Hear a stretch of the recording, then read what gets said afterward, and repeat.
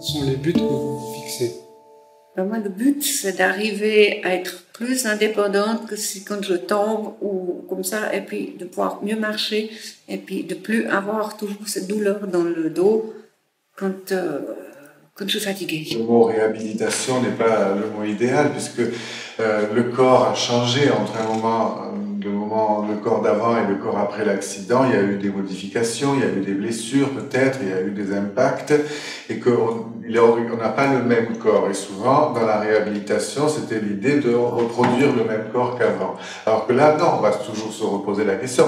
Ici et maintenant, aujourd'hui, avec ce corps tel qu'il est, avec ses amputations chirurgicales ou autres, quelle est la meilleure euh, assise gravitaire pour retrouver un potentiel de mouvement?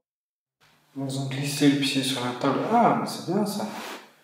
Montez le plus haut possible. Ok, puis pour descendre, vous étirez le talon. Non, non, pas ici, que le talon. C'est vrai qu'avant, marchant, ça faisait quand même, j'étais quand même vraiment courbée en avant. Et là, maintenant, je me sens plus droite. J'arrive même à être assise sur un banc qui n'a pas de dossier. Bon, je vous dirais pas, pendant des heures, mais avant, c'était pas possible parce que moi, je me trouvais sur un banc où il n'y avait pas de dossier, eh ben, euh, ça, ça tenait pas.